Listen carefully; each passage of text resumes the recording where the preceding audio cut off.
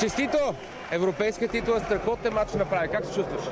Ами, все още не мога да се погледна в огледалото, вие ще кажете как изглеждам. Доста добре, между другото. Еми, значи това е показателно.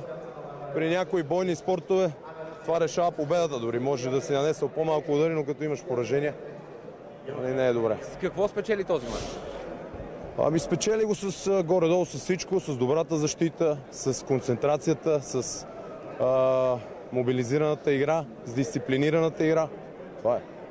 Какво искаш да кажеш на всички? Естествено, дълги години, дълги години тренирам при най-различни треньори, при Борис- Борислав Бъджиев, при Михаил Таков, при Коце Петков Железото. Това са треньори, които аз няма да забравя.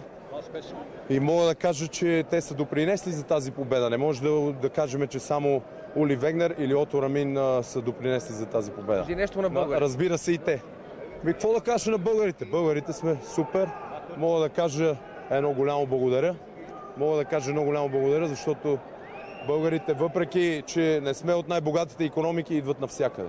Мога да им благодаря. Има хора, които въпреки моята единствена загуба, са умяха и пак са тук, пак а, са дошли да ме подкрепят. Продължаваш напред? Разбира се. Поздрави на вашите зрители на цяла България. Обичам ви.